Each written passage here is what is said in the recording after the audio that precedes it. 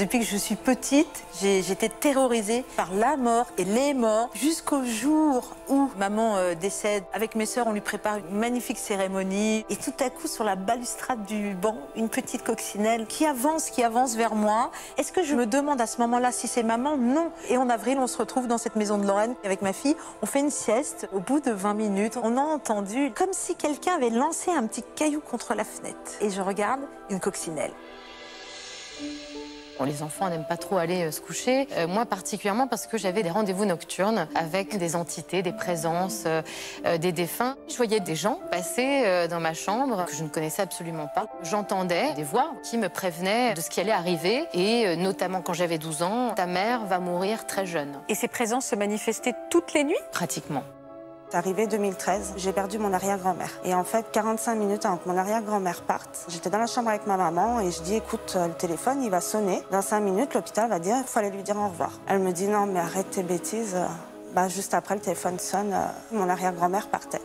J'avais euh, cette image d'un téléphone qui sonne et je sais que quand ce téléphone sonne, il va y arriver quelque chose. Au jour d'aujourd'hui, oui, ça m'inquiète parce que maintenant je me dis à chaque fois que je vais avoir cette image, je peux rien contrôler, je sais ce qui va se passer. Ça m'angoisse un petit peu.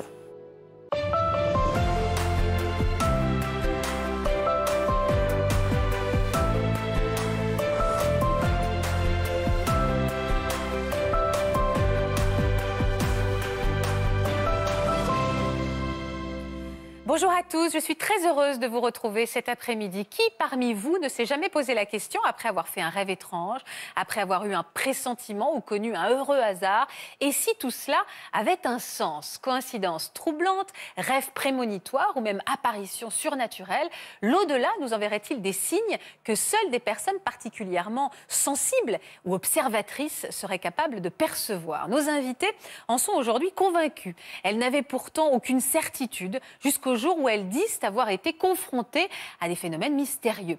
Leur vision de la vie, de la mort a changé et elles viennent nous la faire partager dans Ça commence aujourd'hui. Merci à tous d'être fidèles à votre rendez-vous de l'après-midi bienvenue. Et bonjour à toutes. Merci infiniment d'avoir accepté de participer à notre émission, de nous raconter toutes ces expériences extraordinaires qui ne laisseront personne indifférent parce qu'elles soulèvent des questions chez chacun d'entre nous. Euh, ça fait beaucoup de temps qu'on a envie de traiter de ce sujet. Je suis très fière de le faire à vos côtés aujourd'hui, ainsi qu'aux côtés de Natacha Espier, que je salue. Merci Natacha d'être avec nous. Euh, Anne, on va commencer euh, avec vous. Avant d'écouter votre histoire, on va se replonger en images sur votre enfance, puisque vous ressentez depuis... Depuis quel âge d'ailleurs, Anne depuis que j'ai à peu près 7-8 ans. Voilà, des choses particulières. Euh, on va comprendre, vous allez nous expliquer de la façon le plus claire possible. On va d'abord se replonger dans votre histoire à vous. Petite, Anne grandit au sein d'une famille agnostique. Elle et son frère sont élevés par des parents plutôt cartésiens, mais la jeune fille développe en grandissant une grande sensibilité. Certaines nuits, elle est même témoin de phénomènes étranges et n'ose en parler à personne de peur d'être prise pour une affabulatrice et d'être punie. Anne se lance alors dans la danse et les études tout en gardant enfoui en elle ce lourd secret. C'était quoi alors Anne, ce lourd secret? J'avais des rendez-vous, euh, ce que j'appelais des rendez-vous nocturnes, avec euh, des présences. Alors, je vous dis ça aujourd'hui avec euh, les mots qui conviennent, des entités, des présences. Alors, vous imaginez que le soir, aller se coucher et percevoir des défunts, c'était quelque chose de terrifiant. Surtout qu'à l'époque, vous ne saviez pas que c'était des défunts. Comment elles se manifestaient, ces, ces présences, ces entités? Vous voyez quoi à l'époque? La première fois que j'ai compris réellement de quoi il s'agissait, ça a été lorsque j'ai aperçu, vu de mes yeux, ma grand-mère maternelle mais il faut peut-être que je précise que je ne l'avais jamais connue de mon vivant, puisqu'elle euh, était décédée quand ma mère avait seulement 10 ans mais je l'ai reconnue tout de suite. Et je précise que j'avais aucune photo d'elle euh, dans aucun album photo. Quand j'ai vu cette femme au pied de mon lit, j'ai tout de suite compris euh, qui elle était. Et surtout, elle avait une fin tragique, puisqu'elle avait mis fin à ses jours. Et elle venait chaque soir sangloter au pied de mon lit, allez vous endormir après ça. Bah, bien sûr. Euh, moi, je mettais euh, mon Walkman sur les oreilles pour essayer de, de, bah, chasser euh, toutes, ces, toutes ces visions. Et Parce qu'il y en avait d'autres à part cette grand-mère? Oui, je voyais des, des, des, gens passer dans ma chambre. Et vous en parliez le lendemain matin à votre maman? Jamais. Et pourquoi? Jamais parce que bon, déjà, vous l'avez entendu, je viens d'une famille tout à fait agnostique. Et puis, il y a un peu euh, cette ombre qui plane euh, de la folie et euh, de cette peur aussi quand on est enfant, parce que vous l'avez vu, on a envie d'être une petite fille modèle, on a envie de, satisfaire ses parents. Et j'avais pas du tout envie de dire au réveil, d'abord que je percevais des visions et surtout que je percevais ma grand-mère maternelle parce que j'allais, lever quelque chose de douloureux pour ma mère à l'époque. Donc, j'avais pas envie de, envie d'ouvrir ce, pan-là de sa vie et de la mienne. Et je suis restée silencieuse. Et ces présences se manifestaient toutes les nuits? Pratiquement. Euh, il y a eu d'autres phénomènes après qui, se sont manifestés auprès de vous? Ben, J'ai été assez fière de moi parce que le temps avançant, euh, j'ai réussi à me, rebeller. Et un, soir, euh, pas fait comme un autre, j'ai rassemblé mon courage, je me suis assise sur, dans mon lit et j'ai dit c'est terminé, je veux plus vous voir. comme si j'avais le moindre pouvoir. Mais, je pense que ma force de persuasion a, malgré tout comme, une demande réellement prégnante. Et j'ai dit c'est terminé, je veux plus vous voir, vous me faites trop peur, c'est décidé. Alors, bah, je ne les ai plus vus. Et alors, à défaut de les voir, quelques mm. temps plus tard, bah, je les ai entendus. Alors, justement, à quel moment elles se sont remanifestées? À quel moment euh, ce don Bien plus euh, tard, bien plus tard, au, moment tragique de ma vie, euh, qui a été le décès de ma mère. Vous aviez quel âge au décès de votre maman? J'avais 26 ans. Donc à 26 ans, tout d'un coup, on va dire, ce, ce, monde de la nuit est venu vous envahir dans vos jours. Exactement. Euh, Alors, il faut savoir que euh, j'avais, j'avais acquis ce qu'on appelle la clairaudience, c'est-à-dire que j'entendais, euh, j'entendais des, des, des, voix et je m'en servais parce que du coup, j'avais des, j'avais des informations dans mon quotidien. Quel genre d'informations ah bah, Que j'allais avoir un contrôle de mathématiques que je détestais le lendemain, ouais. qu'un tel et un tel allaient pouvoir s'embrasser en secret dans la classe. C'était pas de l'ordre de l'intuition? Là, c'était des, vraiment des voix, des, en tout cas des voix que j'entendais et qui me prévenaient euh, de ce qui allait arriver. Vous n'êtes jamais demandé s'il n'y avait pas un peu, pardon de ce terme, mais de schizophrénie On, dit que les schizophrènes entendent des voix. J'imagine que vous êtes interrogé là-dessus. J'ai lu Freud à 14 ans. Donc je me suis dit que j'allais trouver dans tous ces auteurs euh, peut-être la vérité de mon état euh, psychiatrique. je ne l'ai pas trouvé. en tout cas, personne ne m'a diagnostiqué comme tel. à 26 ans, c'est quand votre mère décède, vous aviez 26 ans? Oui. C'est là où les, les, euh, ces, visions, en tout cas, ces présences se manifestent. Elle, elle s'est manifestée, votre mère, à, son. Alors évidemment, euh, au moment, donc ma mère ne souhaitait absolument aucun protocole funéraire au moment de son décès. Elle, disait que tout ça, c'était, euh, je vous passe euh, les mots choisis et fleuris qu'elle utilisait. Sauf que mon frère n'était pas là euh, pour, pour son départ. Donc on a décidé avec mon père, malgré tout, de lui faire une sépulture. Et donc vous arrivez dans la chambre funéraire, c'est pas un moment spécialement joyeux, mais en la voyant là, c'est-à-dire en ne la voyant plus là, en tout cas à ce moment-là, j'ai compris la distinction entre le corps et l'âme. C'est à ce moment-là que je me suis dit, mais il n'y a donc personne ici je lui ai dit, en tout cas, euh, eh bien, euh, parce que les gens, vous savez, déposent dans le cercueil. Enfin, moi, je découvrais ça complètement. J'avais aucun héritage. Voilà, ils déposaient des objets, des mm. fleurs, etc. Et je trouvais ça d'un ridicule absolu. Euh, ma mère n'étant pas du tout matérialiste, et je me suis dit, qu'est-ce que moi je vais faire? Qu'est-ce que je vais lui laisser comme héritage? Et donc, vu que j'étais enseignante et que j'aimais écrire, je lui ai écrit une lettre et je lui ai dit là, c'est maintenant que tu vas me le dire. Toi, tu vas être mon meilleur témoin de l'invisible, puisque comme tu ne croyais en rien, euh, si tout ce que je vois depuis enfant est vrai, c'est maintenant, hein, c'est maintenant qu'il faut que tu te manifestes, parce que euh, euh, je dois savoir quoi faire de, de toute cette vie intérieure qui est parfois lourde. Alors, qu'est-ce qui s'est passé? Quelques temps après son départ, euh, donc ma mère avait, à contrario, euh, deux grandes fêtes qu'elle adorait euh, célébrer, c'était Noël et Pâques. Voilà. Bon, nous, on était contents parce que du coup, on avait des, cadeaux à cette occasion. Et elle était aussi du mois d'avril. Et donc, elle est partie au mois de décembre. En avril, je vois un SMS qui arrive sur mon téléphone avec un numéro comme ça. Qu'est-ce que c'est que ce numéro? Et je lis Joyeuse Pâques à tous les trois, maman qui vous aime.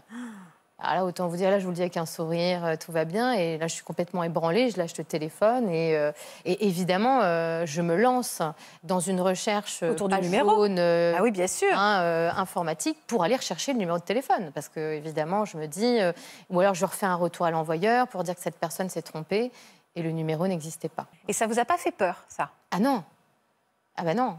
À partir du moment où j'ai reçu euh, des signes d'elle, euh, j'ai pu faire le lien entre deux plans différents, entre deux mondes différents. C'est comme s'il y avait une harmonisation en fait dans ma vie. Et puis aussi, mais tous les consultants que je, reçois quotidiennement euh, le disent, c'est aussi une aide dans le cheminement du deuil. À partir de ce moment-là, il n'y avait pas un arrêt, il y avait une continuité. Et euh, j'ai pu euh, continuer de communiquer avec elle, au-delà de, sa mort, et euh, comprendre pour moi, en tout cas, la perception de la vie terrestre et, et de l'après-vie. Et donc, ça vous a réconcilié avec ce don? C'est-à-dire que tout d'un coup, vous avez voulu euh, en faire quelque chose? À partir de ce moment-là, je me suis dit, donc, donc euh, s'ils sont là, qu'ont-ils à me dire? Et en quoi, moi, je peux avoir un rôle à jouer auprès d'eux? Alors, comment on fait pour euh, transformer ce don qu'on n'apprivoise pas encore, juste qui nous arrive, pour le mettre au profit de gens qui viennent vous voir, pour se connecter? Alors, je ne sais pas si vous dites connecter. Oui. Pour se connecter avec les bonnes personnes euh, vous voyez, est-ce que parce que c'est pas, j'imagine que ça arrive pas comme ça. Dès que vous allez vous brancher avec quelqu'un, vous voyez immédiatement. C'est-à-dire que ça doit se travailler, quoi. Alors ça se travaille. Moi, j'aime pas parler de don parce que déjà on a l'impression que c'est une gentille marraine qui est venue vous donner un cadeau.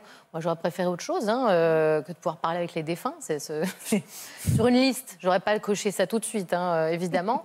Mais euh, c'est une moi, je suis une, besogneuse, voyez, une travailleuse, et je pense que là-haut, ils l'ont compris. Et en fait, j'ai été appelée euh, dès le début de ma carrière, parce que carrière voudrait dire que médium est un, est un métier reconnu, dans les salles d'aide d'association au deuil. Donc on m'a appelé très vite pour, faire ce qu'on appelle des médiumnités collectives. Bah, tant qu'à faire, moi je me suis jetée dans, dans le grand bain et je me suis retrouvée avec des photos euh, disséminées devant moi, des objets. Et euh, le but était euh, de délivrer des messages. Et en fait, j'ai travaillé mon outil médiumnique, parce que moi je l'appelle comme ça, et je me suis dit, parce que j'étais aussi en auto-conviction. Je me suis dit, voilà, ce sont des photos de défunts de gens que je ne connais absolument pas. Dans cette salle, je ne les connais pas non plus. Si vous avez des choses à me dire pour eux, allez-y, mais je vous préviens, hein, vous y mettez le détail, la précision, que ça soit identificatoire par le physique, par une attitude, un mot, un geste, qui fasse que hmm. la personne en face me dise... C'est lui. Juste une chose, donc aujourd'hui vous avez un cabinet. Oui. Les gens qui viennent vous voir, ils veulent donc que vous, les, que vous les connectiez avec vos morts. Ils ont des réponses, ils attendent des réponses de les morts. Donc c'est pas pour donner des clés d'avenir, c'est pour donner des clés. Ah, voilà. Alors, les, deux, mon capitaine. Euh, pourquoi, avant toute chose, vous savez, le, deuil le plus difficile à faire est quand on ne peut pas se dire au revoir. Et malheureusement, il y a énormément de cas où on ne peut pas dire au revoir mm. à, ses mourants. Et euh, donc, il y, a, évidemment un, dialogue euh, qui s'interrompt, des souffrances qui sont là. Et puis, il y a aussi tout ce qu'on ne s'est pas dit. donc, ils, ont, ils sont aussi en recherche d'un pardon, d'une réponse. Et il y a parfois, vous n'arrivez pas, je vous interromps, mais j'ai plein de questions, vous n'arrivez pas à vous connecter, c'est-à-dire à un moment des gens vous disant, bah, écoutez, j'aimerais de tout mon cœur, mais cette personne ne rentre pas en contact avec moi. Parfois, ce n'est pas la même personne que l'on souhaiterait qui vient. Alors j'ai beaucoup de moments un peu cocasses où euh, j'ai ma consultante qui arrive en disant ben voilà je voudrais parler à ma mère et je dis ah oui mais là on a votre grand-père paternel. Ah bah oui mais là euh, bon bah j'avais trop rien à lui dire. Oui mais lui il a des choses à vous dire. Et alors ça peut être, ça peut être, qui veut vient. Moi, j'allais je, dire, je donne euh, le feu vert, l'autorisation pour euh, ceux qui ont des messages à, délivrer. Donc ils viennent délivrer des messages potentiellement sur le, la vie des gens. Exactement. Euh, mais, mais, mais je, peut-être que j'avais aussi envie de dire ça. J'ai infiniment de gratitude et, et d'amour pour ce monde invisible pourquoi? Parce que quand on passe de l'autre côté, en tout cas, les défunts viennent se présenter tels qu'ils étaient totalement tels qu'ils étaient de leur vivant. Parce que nous, quand on se décrit un portrait de nous-mêmes, on n'a pas forcément envie de dire qu'on euh, est euh, hyper euh, rancunier ou qu'on est un petit peu trop superficiel. Eux, ils viennent me dire, voilà, j'étais comme ça, j'étais comme ça, dis-lui ça, dis-lui de faire attention, dis-lui de ne pas faire comme moi. Ou bien toute ma vie, j'ai été violent avec elle ou autoritaire ou je l'ai brimé. dis-lui qu'il est temps de changer. Et vous avez, vous avez, le vertige parfois de la responsabilité que vous avez. Parce que j'imagine des personnes en souffrance qui viennent vous voir et qui attendent une réponse de quelqu'un peut-être qui a mis fin à ses jours ou d'un enfant. C'est vertigineux oui. de se dire euh, on peut changer des vies, on peut changer la façon dont on s'apprivoise un deuil. Euh, c'est presque inquiétant en fait, de son pouvoir. Je suis tout à fait d'accord. Il n'y a pas une seule fois, il n'y a pas une seule journée où, avant de, délivrer un message, je me demande si l'information que je vais donner va faire avancer la personne à qui je vais le dire. Si j'ai la sensation que c'est quelque chose de trop lourd pour elle, je ne le dirai pas. Hmm. Hmm. Ça vous arrive de faire le choix de ne pas dire certaines oui, choses? Très régulièrement, tous les jours. Parlez-moi de ce livre, il suffit parfois d'un signe euh, ou euh, apprenez à décrypter justement ses rêves, ses synchronicités, ses prémonitions pour développer votre intuition. Euh, aujourd'hui, vous, ce que vous vivez, ça n'est pas de l'intuition. Non, c'est une intuition exacerbée. Il y a deux questions, parce que c'est l'origine de ce livre, il y a deux questions qu'on me pose quand on vient dans mon cabinet. Est-ce que mon défunt va bien A-t-il quelque chose à me dire? Et est-ce qu'il m'envoie des signes que je n'aurais pas vus? Et je me suis retrouvée tout autant à être la messagère que de décrypter avec eux ensemble le champ sémiologique qu'ils ont reçu dans le quotidien et que nos émotions, nos croyances, euh, nos tabous font que euh, nous avons, voilà, on a mis cette distance avec, euh, avec les signes et, ils viennent aussi chercher, alors avec le préambule de dites-moi que je ne suis pas folle, virgule, en général, et je leur dis je serais bien mal placée pour vous dire que vous êtes complètement folle, ou alors on va aller tous ensemble à Sainte-Anne dont je porte le prénom.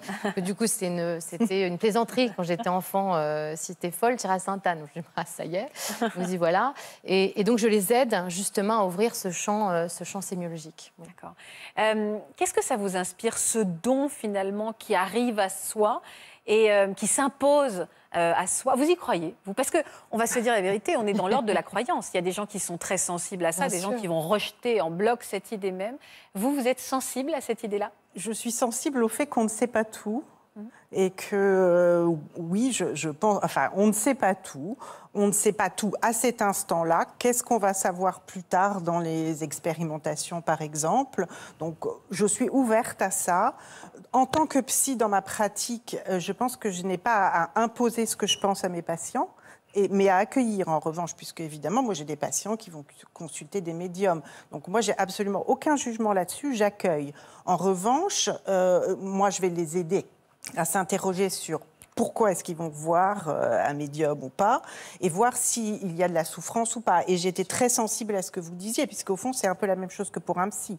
C'est-à-dire, on ne va pas accabler le patient en face de nous d'une interprétation trop rapide, qui ne pourra pas entendre à ce moment-là. Et c'est ce que vous dites, parce que le grand danger est aussi ça, c'est-à-dire que vous ne connaissez pas la personne en face de vous, et vous ne savez pas dans quel état euh, psychologique il ou elle peut être. voilà, quelqu'un de trop fragile. Hein. Absolument. Donc, euh, donc ça, je pense que c'est toujours à On a une grosse responsabilité. Voilà, c'est ça. Sûr, bien sûr. Peut-être qu'on peut préciser pour les parents dont les enfants vivent ce genre de choses que, euh, pour rebondir ce que disaient Natacha et, Anne, euh, que l'écoute bienveillante d'un parent est importante, mais euh, ne pas favoriser aussi les choses est important. C'est-à-dire qu'une maman qui, ou un papa qui croit beaucoup à ces choses-là et qui, dont l'enfant vit ces choses-là, alors qui est-ce que tu as entendu aujourd'hui L'enfant peut être amené lui-même à justement construire des choses pour, euh, pour, satisfaire, la curiosité des demandes, etc. Mais alors quelle est la bonne attitude? Eh ben, c'est juste d'écouter avec bienveillance ce qui se passe,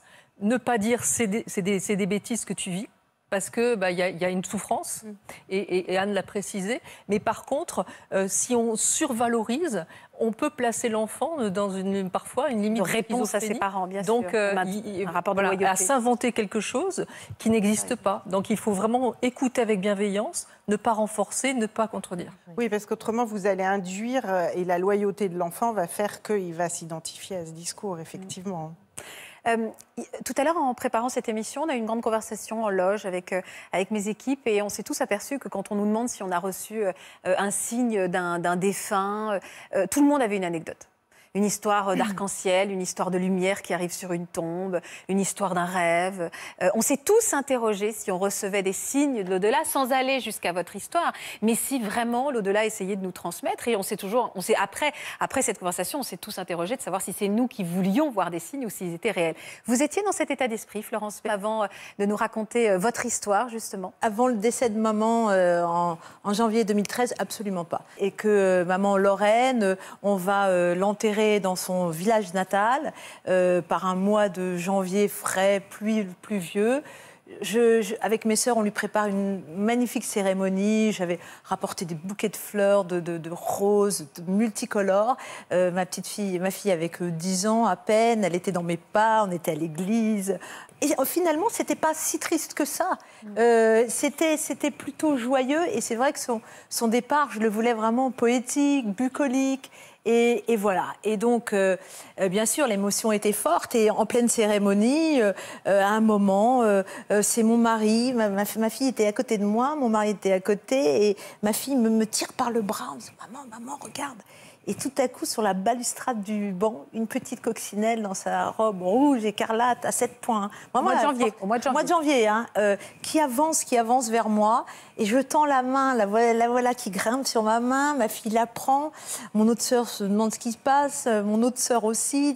Et on se passe cette coccinelle. Et il est vrai qu'à chaque fois, elle revenait vers moi. Si bien qu'à un moment, on a décroché, on écoutait plus ce que disait le curé. Le curé a fait enfin, qu'est-ce qui se passe et tout. Mais on était tellement fascinés, scotchés par ce petit insecte. Alors, moi, peut-être plus que, que les, autres membres de la famille. Et il est vrai que le soir, quand je me suis endormie, je pensais à elle et je me disais, finalement, ce petit insecte rouge euh, a éclairé c'est vraiment cette journée de larmes. Et, je, et je pensais à elle en disant, mais est-ce que je, me demande à ce moment-là si c'est maman? Non, parce que j'ai jamais, moi j'avais plutôt quand même un esprit assez cartésien et j'étais pas du tout dans ce truc-là. Sauf que quand je suis rentrée à Paris, mon premier réflexe de journaliste, ça a été euh, d'interroger un entomologiste que j'avais euh, interviewé pour la dernière page de VSD, euh, François Lasserre. Et là, je l'ai appelé, je lui ai dit François, est-ce que c'est possible une petite coccinelle dans une église alors qu'il faisait 5 degrés dehors, qu'il pleuvait, qu'il faisait froid? Et lui, il m'a répondu bah, une coccinelle l'hiver, les coccinelles hibernent. Il faut vraiment que l'église soit chauffée à bloc, auquel cas un, nid de coccinelle a pu se réveiller. Et voilà. Et donc, euh, vous pouvez expliquer sa présence. Et alors, il me dit et l'église? Je lui dis non, jamais ouverte, plus de curés, presque plus de fidèles. Donc, euh, il m'a dit ben, mystère. Et là, j'ai commencé un peu à m'interroger en me disant bon, mais les semaines passant. Euh, ça s'est un peu dissipé dans ma tête jusqu'au jour où euh, une attachée de presse de chez Albin Michel m'appelle en me disant Florence, vous ne voudriez pas euh, interviewer la médium Patricia Daré, que je ne connaissais ni ni d'Adam. Euh, et, je lui dis Oh, écoutez, je viens de perdre maman. Non, non, oh, écoutez, j'ai pas envie de parler du tout. Elle, me dit Elle communique avec les défunts. je lui dis Non, non, attendez, j'ai trop. Ça me fiche la trouille. Trop fragile, ouais. Et elle me dit Elle insiste, elle me dit Écoutez, je peux vous rappeler quand même dans dix jours, vous devriez la rencontrer. Bon, J'accepte, elle me rappelle, j'accepte et je rencontre Patricia Daré avec ses grands yeux noirs. Et je l'interroge, elle avait publié un livre et puis à un moment, ça tournait l'obsession quand même, cette coccinelle dans la tête et je me suis dit, je lui ai dit, excusez-moi, je, peux vous raconter quelque chose? Voilà, on a enterré maman au mois de janvier. Euh, est-ce que vous pensez qu'il y a une coccinelle qui est survenue, qui a surgi comme ça de nulle part? Comment vous l'expliquez? Et elle, sur le ton, sur un ton, mais des plus naturels, oh, mais c'est votre maman. Euh, les défunts, c'est bien connu. On voit tout ce qui vole, les plumes, les papillons. Euh, je dis, ah bon? Mais oui, c'est votre maman. Et me dit-elle, je pense qu'elle est avec nous. Je dis comment? Elle est là. Elle est dans mon oreille. Et alors, elle me décrit presque maman. Elle me dit, elle était pudique, très réservée, une femme, cheveux blonds et tout. Là, évidemment, je, me suis, j'ai fondu en larmes parce que c'était tellement fort et tout. Et euh, bon, j'ai dit, on va reprendre le fil quand même de l'interview. Euh, et puis, euh, je suis sortie de l'interview. je, ne marchais pas, je volais. Ouais, c'est génial, c'est maman et tout. J'appelle ma grande sœur aînée, je raconte. Elle me dit, ah, oh, tu sais, les médiums Coccinelle, ce serait maman qui enverrait, qui se serait manifestée. Je dis, mais je te, promets, il a dit, les, défunts envoient des plumes et tout. Bon, voilà. Et euh, donc, euh, c'est un peu retombé, ma joie est un peu retombée comme un soufflet, mais j'avais envie d'y croire. Et puis le temps a passé et, euh, et puis donc janvier l'enterrement et en avril on se retrouve dans cette maison de Lorraine qui n'avait pas été ouverte depuis l'enterrement et là, on venait d'arriver la veille, pareil, il faisait froid, vraiment le printemps se faisait désirer. Et avec, euh, on n'avait pas ouvert les fenêtres, hein, je précise. Et avec ma fille, on fait une sieste euh, parce qu'on était un peu chaos l'après-midi dans la chambre de mes parents et ma sœur oubliait dans un coin et tout. Et puis, euh, au bout de 20 minutes, on somnolait avec ma fille. Enfin bon, on a entendu là quand même pour le coup, comme si quelqu'un avait lancé un petit caillou contre la fenêtre. Ça, ça nous a euh, fait euh, sursauter. Ma fille a bondi du lit. Et elle, elle, euh, ça venait de la fenêtre, donc elle, elle s'est précipitée vers la fenêtre et elle me dit Maman, maman, viens vite, viens vite, viens voir. Je lui dis Quoi? Viens, viens. Et je regarde une coccinelle. Je n'en revenais pas. c'est compliqué quand même quand on n'est pas dans ce monde. Enfin, c'est compliqué d'imaginer que des défunts puissent vous envoyer des signes. Moi, on m'aurait dit ça il y a quelque temps. J'aurais dit bon, écoute. Euh, c'est sympa, hein. d'ailleurs, euh, euh, c'est comme quand j'ai raconté euh, cette histoire à Bernard Pivot qui m'a demandé si, si je voulais écrire. Je lui ai dit oui, je suis en train d'écrire un livre et tout. Je lui ai raconté, il m'a dit ah bon, une coccinelle, votre mère se manifeste en coccinelle. Je lui ai dit non, elle se manifeste pas en coccinelle, mais elle m'envoie des messages via les coccinelles. Ce que vous me dites pas depuis tout à l'heure, c'est quel message, selon vous, elle vous envoie, votre mère? Elle est là. La présence, la présence.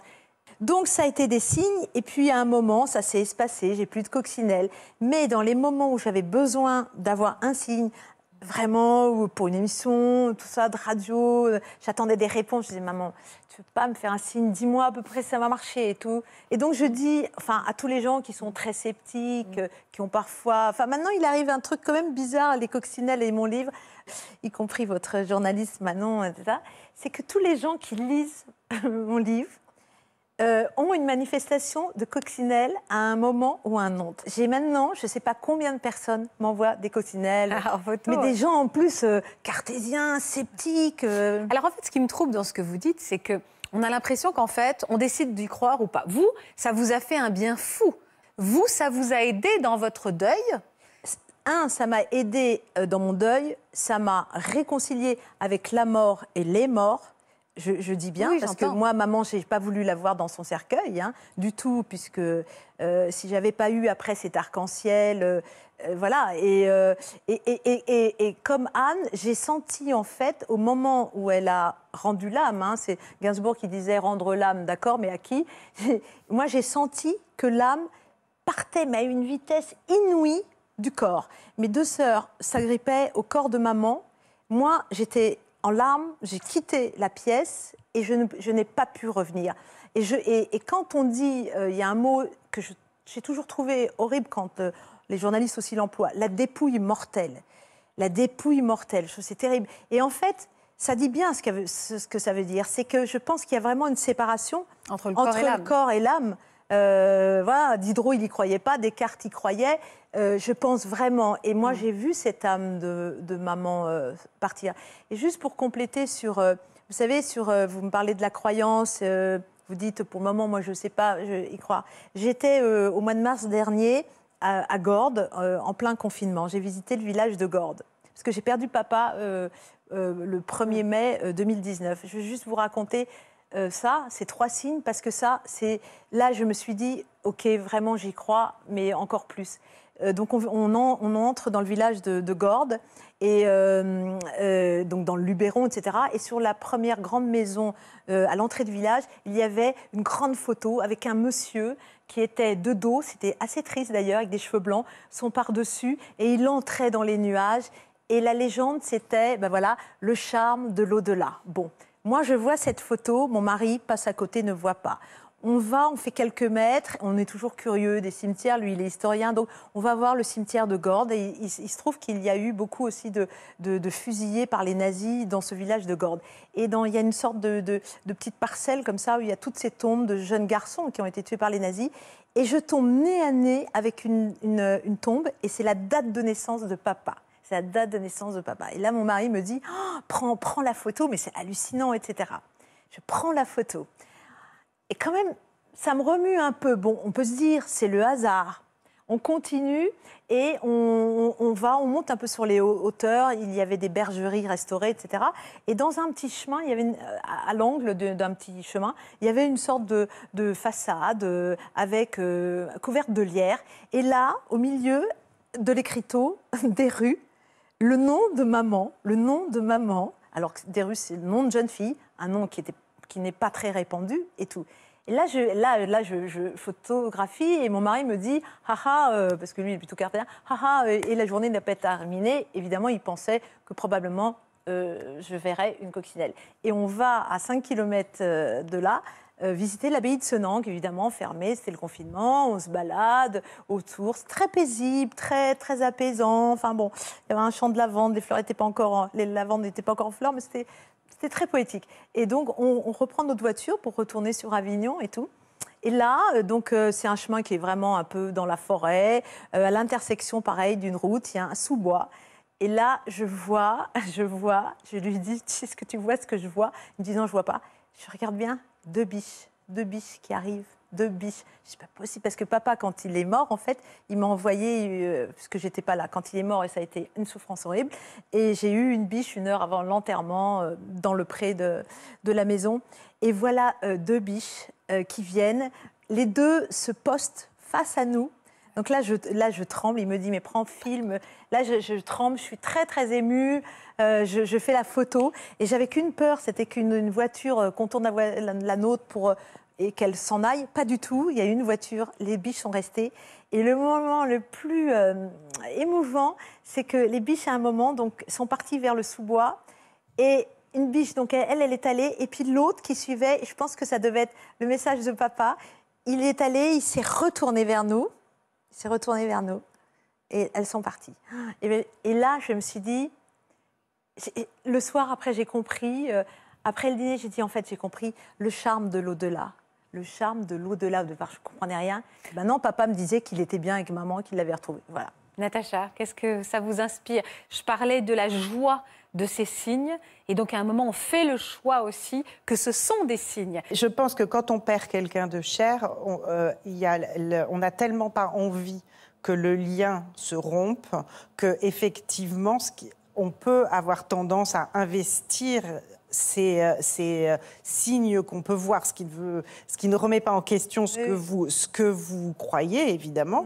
Mais c'est vrai que je réponds à Faustine, on peut avoir tendance, excusez-moi, à investir énormément ces liens. Alors après, euh, c'est toujours compliqué avec le deuil. hein. D'une certaine façon, ça peut être très consolant. Je ne sais pas si c'est français de dire ça, mais on peut être très consolé parce qu'on se dit effectivement qu'on est accompagné. Donc euh, ça peut être quelque chose de très bien. Ça peut être aussi quelque chose qui va vous bloquer un peu dans ce fameux travail de deuil dont on parle énormément, mais qui est bien réel et qu'il faut en être conscient. C'est-à-dire que néanmoins, même si on sait qu'un jour, peut-être qu'on retrouvera la personne, bah, la personne au quotidien, elle n'est plus là. Est-ce que je peux ajouter une chose, Je- si vous permettez Je pense aussi que euh, on est, jusqu'à présent, on était dans une société qui évacue la mort et les morts. Euh, moi, je n'ai jamais enfin, cherché un signe de maman. Il se trouve qu'elle est arrivée comme ça. Mais cette société, euh, enfin, aujourd'hui, euh, on est beaucoup confronté à ça. C'est-à-dire, les gens meurent seuls aussi à l'hôpital. La, me- la- la mort terrifie. Pour beaucoup, c'est le néant. Il n'y a plus rien. Euh, avant, on veillait les morts. On les veille plus, les morts. Y ça n'existe plus.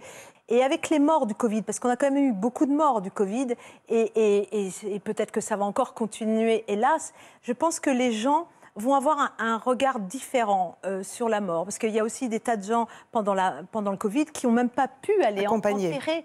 accompagner euh, leur- leur- leurs proches, leurs mamans. Moi, j'ai eu des témoignages horribles. Et ça, je pense que les gens, euh, je pense que cette période de confinement et de va, les gens vont se, comment, vont à nouveau réfléchir. Il va y avoir un, un peu, je pense, une réflexion intérieure. Mais la force de ces signes, je pense, c'est qu'ils arrivent justement au moment où on s'y attend pas. Elle pense pas à sa Bien mère sûr. à ce moment-là. Et c'est la force du signe, il, il est- il vient du fait qu'il arrive au moment où, il- où on s'y attend pas. oui, oui, certainement. Et les gens sentent, je pense, physiquement qu'il y a quelque chose de fort. Certainement, je suis d'accord avec vous. On n'accepte pas l'irrationnel, on n'accepte pas ce qu'on ne peut pas prouver, effectivement. Alors, je ne vous parlerai pas de l'inconscient, mais il y a aussi la force de l'inconscient qui fait qu'à ce moment-là, eh ben oui, même si on n'est pas conscient, comme son nom l'indique, euh, peut-être que quand même votre mère est là et vous êtes prête à saisir les choses. Mais c'est pas une remise en question de ce que vous pensez. C'est une ouverture vers ce qu'on peut interpréter aussi. Je voudrais qu'on écoute maintenant aussi euh, Noémie. Euh, Noémie, depuis tout à l'heure, je vous vois écouter avec beaucoup d'attention euh, euh, nos invités. Qu'est-ce que ça vous inspire, ce que vous entendez depuis tout à l'heure? Bah, c'est vrai que moi, je vis beaucoup de choses, mais j'en ai encore peur. Et en fait, je suis pas encore euh, épanouie dedans. Parce que je pense déjà, pour être ouvert euh, comme ça et recevoir tous ces signes, il faut déjà être en paix avec soi-même. D'accord. Et moi, c'est vrai que euh, je sais que j'ai mes guides. Je dis bien mes guides parce qu'on dit souvent on en a un, et ça peut arriver qu'on en ait plusieurs. Et je sais qu'avec tout ce que j'ai vécu, j'en ai plusieurs. Et euh, je sais qu'il faut que je guérisse mes blessures avant de pouvoir euh, bah, aller aussi loin que Anne. Alors, qu'est- qu'est-ce qui vous est arrivé, vous? Comment les choses ont commencé à se manifester à vous? Moi, ça a commencé à mes deux ans et demi. Euh, J'avais mon grand-père, j'étais très fusionnelle avec mon grand-père. Et à deux ans et demi, il a fait un infarctus et était à l'hôpital. Et c'est vrai que j'avais ce besoin d'être au, au, pied de son lit. Jouer avec mes Barbies, en fait, c'était impossible de m'enlever de vers lui. C'était peut-être une manière pour moi de le protéger. Et après, c'est arrivé un peu plus tard où on a perdu euh, quelqu'un qu'on considérait comme notre grand-père. Mhm.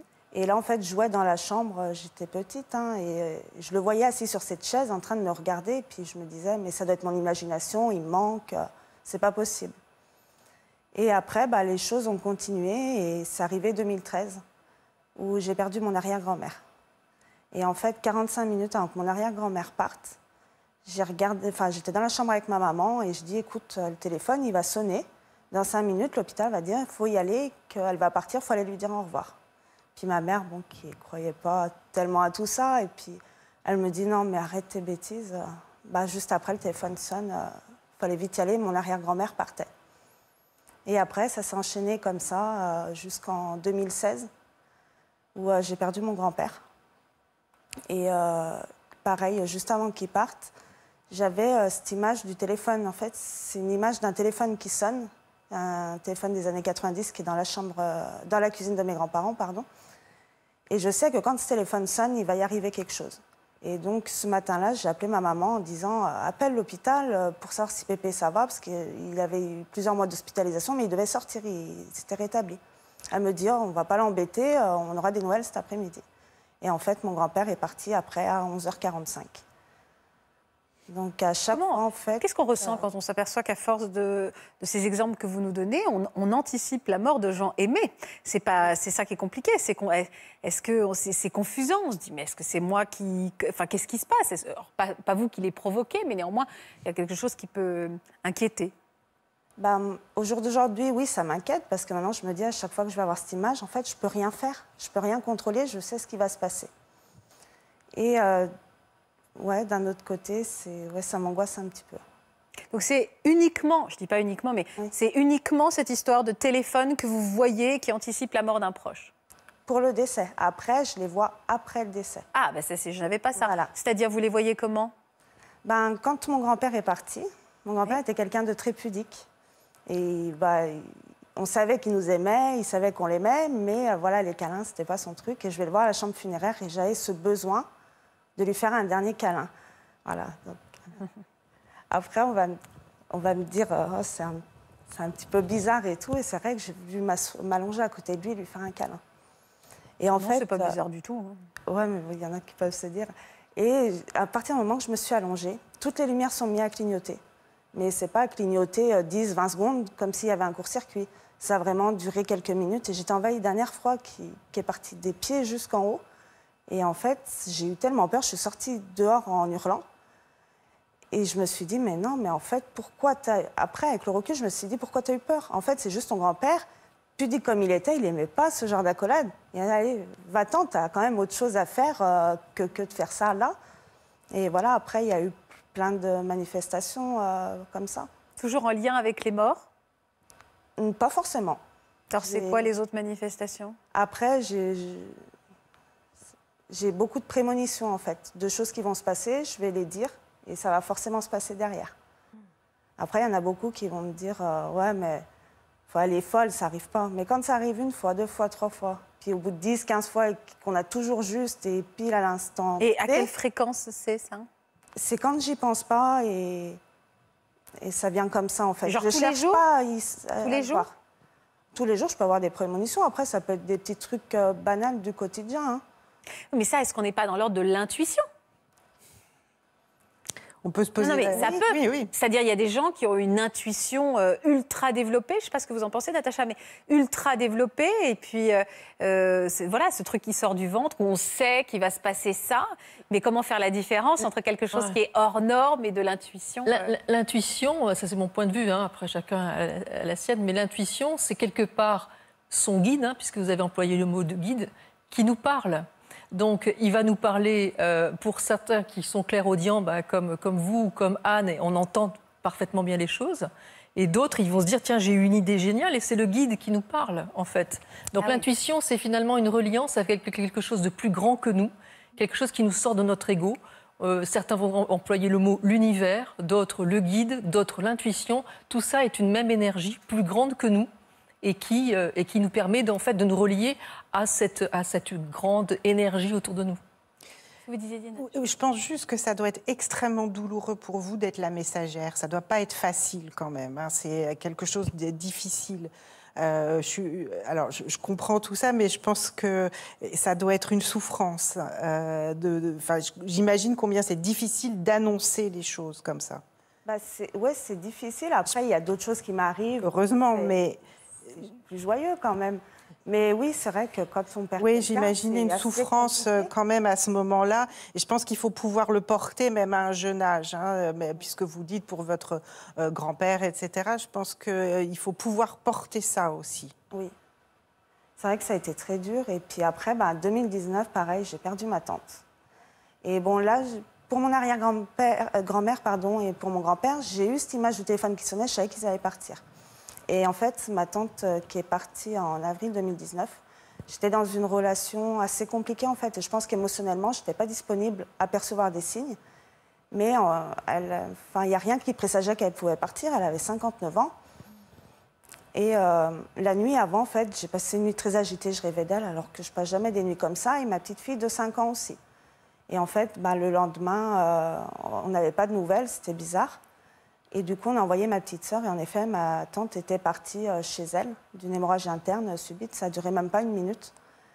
Et euh, donc, tout ça se passe. Et donc, après qu'elle soit partie, toutes les nuits, systématiquement, pendant plus de deux mois, je me réveillais à 5h38 du matin. Mais 5h38, je ne me réveillais pas soudainement. J'étais prise d'une angoisse et je pouvais me rendormir aussitôt. Mais toujours à 5h38. Et en fait, le fait qu'on ne savait pas à quelle heure elle était partie, à quelque part, je me suis dit, mais cette heure-là qu'elle est partie, ça nous a aidé aussi à quelque part à faire notre deuil. Parce qu'on a pu. Avoir des clés. Voilà les clés Savoir, de- ouais. de- Votre maman est là, Départ. Evelyne. Bonjour, Evelyne. Bonjour. Vous êtes, vous ressentez quoi quand vous écoutez votre fille? Je crois que vous n'êtes pas, vous êtes, vous faites partie euh, du des, des sceptiques, on peut dire ça comme ça? Non, pas des sceptiques, mais bon, c'est vrai, au début, quand Noémie me disait des choses comme ça, bon, bah voilà, commence enfant et tout ça, en disant oui, bah c'est, euh, voilà, peut-être, euh, voilà, des idées d'enfant, etc. Et puis, bon, voilà, c'est vrai que, bon, Noémie, c'est plutôt une personne angoissée et tout ça, et je me dis, bah, c'était des réponses qu'elle essaye d'apporter à ses angoisses. Et puis, euh, voilà, quand elle me dit oui, mais il y a ça, il y a ça, il y a ça, etc. Et je me dis, ouais, effectivement, c'est pas, je peux pas tout expliquer avec de l'angoisse. Effectivement, je me dis qu'elle doit avoir cette sensibilité-là. Et euh, c'est vrai que, bah, pour le coup, moi, je me dis que bah, c'est peut-être une chance qu'elle a, voilà, d'avoir cette sensibilité-là. Parce que bon, c'est vrai que, bah, voilà, au départ de mon père, au départ de ma sœur, etc. Bon, bah, voilà, c'est bah, le refus, c'est l'incompréhension, etc. Et je me disais, punaise, mais elle, elle a la chance. Elle a la chance euh, voilà, d'avoir des signes, elle a la, la chance de les voir. Et puis de pouvoir se dire que la mort, ça ne s'arrête pas là. Ça ne s'arrête pas sur un lit, euh, voilà, lors d'une cérémonie, et qu'il y a quelque chose après. Je comprends. Euh, vous parlez de sensibilité, Euh, une sensibilité qu'on peut, qu'on peut développer. Euh, Natacha, vous pensez qu'on peut tous développer cette intuition-là ou ce contact avec ce monde invisible? Est-ce que c'est une histoire de- d'énergie? En fait, au départ, euh, moi, ça, me tombe dessus. Je suis journaliste, je suis journaliste scientifique. Je, voilà, je, je- je- réalise des films à, travers euh, euh, voilà, des, films animaliers pour France 3, pour France 5. Et je développe cette intuition un peu malgré moi. Et, euh, et, et- tout d'un coup, tous les sujets que je vais proposer vont être développés. Euh, euh, je m'intéresse à l'autisme, ça devient une grande cause nationale deux mois plus tard. Euh, J'écris un livre sur le harcèlement conjugal euh, et euh, l'affaire Weinstein sort trois mois plus tard, euh, etc., etc. Je m'intéresse aux abeilles, j'ai un flash sur une hécatombe d'abeilles. Je, je contacte tous les scientifiques sur la question. 11 mois, pour écrire un livre euh, donc futuriste sur, euh, sur une hécatombe d'abeilles. Et 11 mois plus tard, euh, l'hécatombe d'abeilles en 2007 arrive et je vais être la première à proposer un film sur la question. Et donc, moi, au départ, j'ai une vision très pragmatique, très cartésienne, très scientifique des choses. Mais malgré tout, j'ai un grand-père guérisseur. Et j'ai réussi, enfin, j'ai accepté que, la science ne puisse pas tout expliquer. Et donc, quand je vois comme ça ces informations qui me viennent, euh, et que tout d'un coup, dans ma vie, tout tombe, c'est-à-dire que je me retrouve dans un endroit où, euh, euh, sur le plan euh, du travail ça va plus, sur le plan familial je pleure tout le temps, parce que ça va mal, sur le plan financier donc j'ai plus rien, j'ai ma petite sœur qui décède, j'ai voilà pendant quatre ans j'ai une descente aux enfers et là je me dis qu'est-ce que je peux faire et, je vais en fait j'avais interviewé des chamans, des guérisseurs, des, des médiums et je me suis dit je vais mettre en pratique leurs techniques et c'est là où, il va y avoir des synchronicités, des choses très troublantes. Je vais me sortir de tout ça et, et, me relever. Et, je vais justement avoir euh, des flashs concernant ces, ces rituels chamaniques que je vais transformer en protocole et qui vont me, permettre en fait de retrouver euh, toute ma sérénité et toute mon énergie justement. Pour tous ceux qui ne savent pas, c'est quoi ces synchronicités dont vous nous parlez? Mais ça, a commencé en fait. Euh, euh, ça, a commencé euh, de, manière euh, assez troublante. C'est-à-dire que quand, j'ai ma petite sœur qui décède, par exemple, je, dis, elle n'est pas encore morte, elle, est dans le coma, et je lui dis, il, faut pardonner, etc. Et, je me dis, mais comment je peux lui demander de pardonner alors que moi, je suis incapable de pardonner? Et là, euh, en fait, j'ai une colère qui est en moi, j'ai des frustrations, j'ai beaucoup de choses.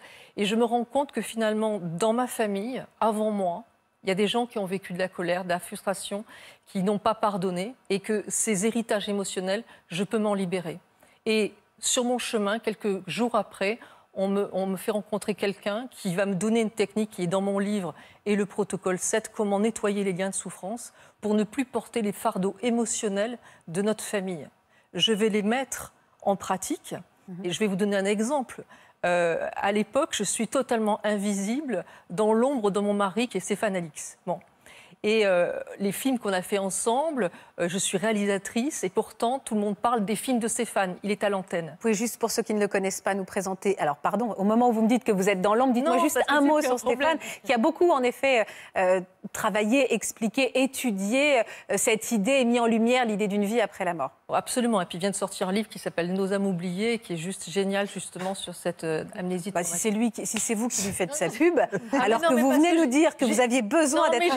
J'ai plus, j'ai problème, si vous voulez, c'est que au moment où je me rends compte que je suis effectivement complètement invisible, je réalise que ma grand-mère était dans l'ombre de mon grand-père, qui était euh, guérisseur. Voilà. Et du coup, euh, je décide de faire ce protocole de libération avec ma grand-mère. Le lendemain matin, j'ai RTL qui m'appelle pour faire une émission sur un livre, un, de mes romans policiers, qui était sorti six mois plus tôt. Alors, question. Question. C'est quoi euh, ces protocoles? Mais avant de savoir comment appliquer ces protocoles, il faut savoir contre quoi on se bat, entre guillemets. C'est-à-dire quels sont ces démons intérieurs. Vous, si vous n'aviez pas analysé que cette, euh, cette pesanteur émotionnelle était héritée de votre grand-mère, vous n'auriez pas pu appliquer ce protocole pour s'en délivrer, pour vous en délivrer. Donc comment on fait pour s'analyser et de voir ce qui nous hante? En fait Alors, il y, a Carl Gustav Jung qui a dit une chose, c'est que finalement, il y a des épreuves qui, se, qui viennent sans arrêt dans notre vie comme des cycles jusqu'à ce qu'on en comprenne le message. Se répète. Mm. Bon. Et euh, je, suis donc au chômage. Et, finalement, et j'ai une personne qui, donc, alors que je n'ai jamais connu la crise professionnelle, jamais, jamais, jamais. Et Pôle Emploi m'appelle en me disant rendez-vous tel jour, telle heure. Je dis, mais non, mais je ne viens pas, je prends ça, mais vraiment super mal.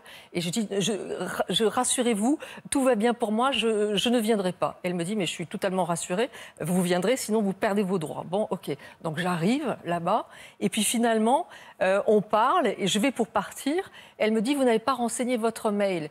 Je dis, oui, mais bon, je reçois trop, je suis journaliste, etc. Elle me dit, c'est dommage, on reçoit des, des, des plein d'annonces de stage.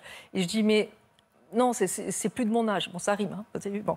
Et, alors, euh, en fait, j'ai un rêve, c'est de que mes romans soient euh, adaptés en série télé. D'accord. C'est important pour savoir. Et elle me dit, mais il y a Luc Besson qui est en train de, de, faire des, des, formations, des masterclass. Alors je me rassieds, et puis euh, j'en prends un, elle imprime 10, j'en prends un hasard, apprendre à écrire une série télé. Et je vais pouvoir, grâce au chômage, je rencontre cette femme qui me parle de, ça. Je vais faire cette formation et un de mes romans est actuellement en, écriture pour une, adaptation en série télé. C'est ce qu'on appelle la sérendipité. C'est-à-dire que, en fait, à partir d'un drame, je suis au chômage, arrive le meilleur. Donc les cadeaux cachés dans les épreuves de la vie. Voilà, donc effectivement, pour répondre à votre question, c'est compliqué de savoir, mais je peux proposer à quelqu'un, à, à, ceux qui nous écoutent, euh, euh, quelque chose. Euh, pensez à quelque chose qui vous, comment dire, que vous aimeriez améliorer. Et puis, essayer de, comment dire d'y adapter, euh, d'y coller une émotion douloureuse. Est-ce que c'est de la colère, de la tristesse, de la culpabilité, euh, de la trahison, de l'injustice, euh, de l'humiliation, du pardon, de la culpabilité ou de l'impuissance? On pense à quelque chose qu'on voudrait. Moi, je fais l'exercice. Ouais, ouais, On pense à, quelque chose qu'on voudrait améliorer. par exemple, avoir plus de succès. Par exemple, gagner plus d'argent. Euh, cesser d'avoir peur de euh, que notre conjoint nous quitte, etc. On pense à quelque chose qu'on voudrait améliorer. Ok, donc je l'ai. Et après, on voit à quelle émotion c'est associé. Une, une émotion douloureuse. Donc, est-ce que vous le vivez comme une injustice, comme une trahison, comme une culpabilité, comme un abandon, etc. Tout ce que j'ai dit. Les gens le regarderont en replay. et puis, euh, là, à ce moment-là, vous cherchez qui dans votre famille a vécu. Alors, prenons par exemple, je le vis comme de l'injustice ou de la colère. Bon. Quelqu'un quelqu'un a dit une, une émotion douloureuse, je sais pas, euh, euh, quelque chose qui. bon.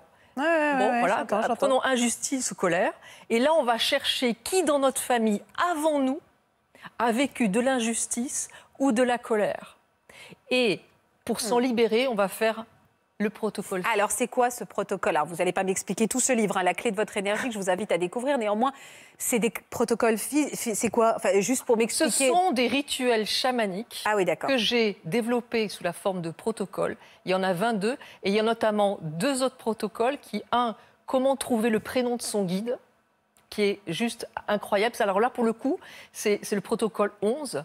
Et celui-là, les cartésiens, ils en sont euh, ils tombent sur, sur, par terre. Parce sur les fesses, ok. Ouais, parce que je vous donne un exemple. Je, je, pars à, à Saint-Maléo pour faire un atelier. Et il y a parmi eux un monsieur très cartésien qui veut absolument, euh, qui est là, mais ce que je dis, ça rentre par une oreille, ça sort par un autre côté. Sauf qu'il attend une grève de rein depuis trois ans.